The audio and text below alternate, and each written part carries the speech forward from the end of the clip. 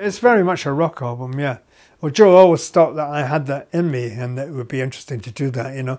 And he knew people who would take it in that direction rather than the string band direction well, you've written these songs. We think it'd be great if all these people I know, we think they might be interested in working with you and putting together a roster of there's all these amazing people, different people for each track, you know. Got Jimmy Page in and Pete Townshend, and The Who was Elton John on this. From Dudu Pukwana to kind of in Indian uh, Veena playing kind of people to John Cale and it was a fantastic opportunity. And really chuffed that all these people were interested in doing it. You know, it's great. And we did it in sound techniques. It wasn't John. I don't know why it wasn't John Wood. He didn't do that. It was a guy called Roger Mayer, as he was obviously off doing something else.